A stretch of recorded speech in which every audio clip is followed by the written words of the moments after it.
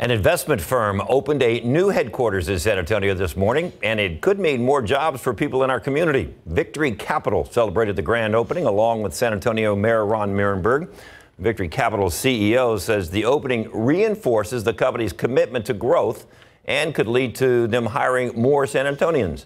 Mayor Nirenberg says the, that he expects to see a billion dollar economic impact just from Victory Capital's presence. San Antonio may not be the first city that comes to mind when you think of financial industry. Mayor Nirenberg explains it makes San Antonio attractive to these businesses.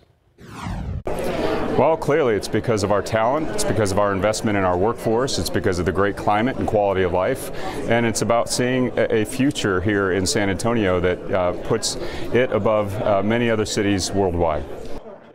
And the CEO of Victory Capital wanted to show his support for the mayor's mission to make San Antonio a healthier city.